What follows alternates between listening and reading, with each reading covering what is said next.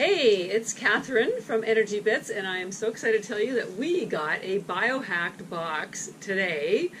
Thanks, Dave Asprey. Uh, if you're not familiar with Biohack, this is a terrific box that comes out quarterly, and it has Dave Asprey's personally selected hottest, coolest biohack tips, and you can learn more about them at biohacked.com.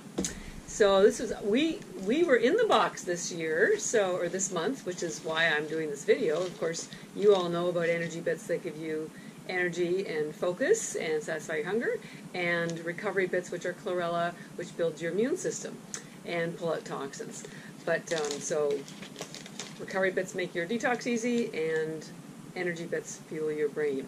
But I'm excited to tell you about the, all the other great products that were in here. So shout outs to all my other fellow biohackers out there.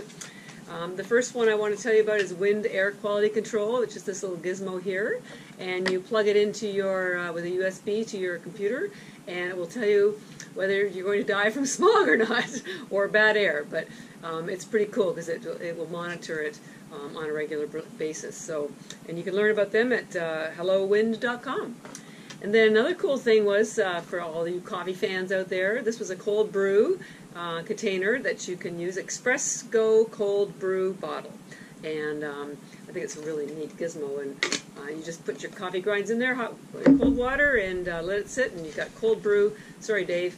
I know your brew is really great too. So, but this is another option. Then you've got this thing called Clean Wash, Eat Cleaner Produce at eatcleaner.com, and we'll get rid of all that nasty, those nasty bacteria that are on your fabulous greens that you know we love you to eat all the time when you can't get to your bits. So um, this is a great little product, so I would certainly encourage you to do that. Uh, then we got this thing called Immune Boost, uh, which is a great way, it's a nasal inhaler um, and for those of you who are, you may already know, most bacteria and colds start in your nose. So this will keep you um, alive and active and uh, jumping about even more than um, than normally would be if you had your energy bits and recovery bits. So, um, and you know, it's really cool because Dave gives you this little booklet to tell you everything that's inside the book.